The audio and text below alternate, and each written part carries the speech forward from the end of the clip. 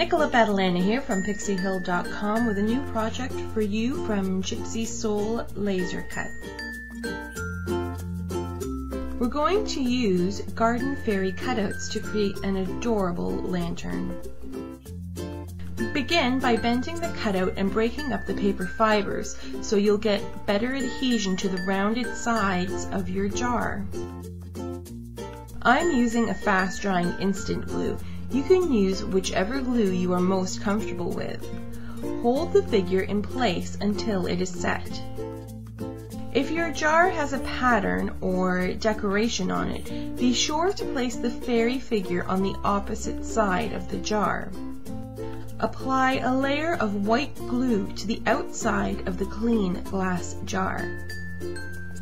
Place a layer of tissue paper on top and smooth it out. Continue around the jar, working in sections until it is covered. A little bit of overlap is fine, but try to avoid too many layers of tissue as each layer will reduce the amount of light that shines from your fairy jar.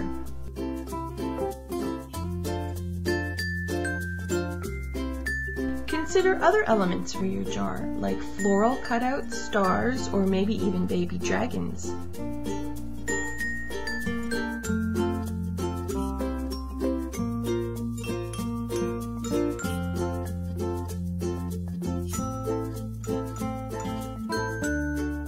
Don't worry too much about small tears and wrinkles.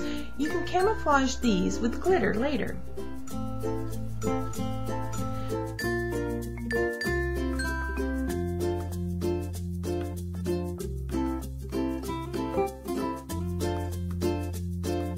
Turn the jar upside down and allow to dry. Once dry, apply some glue to the top and bottom edges and add clear glitter. This will create a sort of vignette and add an extra dash of magic. I would not suggest covering the entire jar with glitter. It can block a surprising amount of light and ruin the fairy silhouette effect.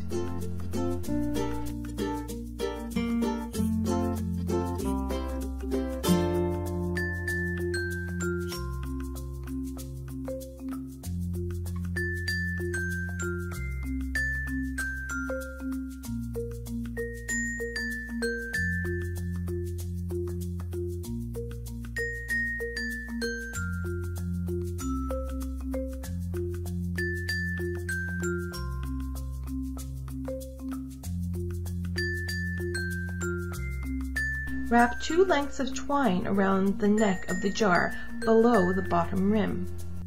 Tie in a bow, which you can secure into place with just a drop of instant glue. Add some faux berries, little pine cones, or whatever elements fit your fairy jar.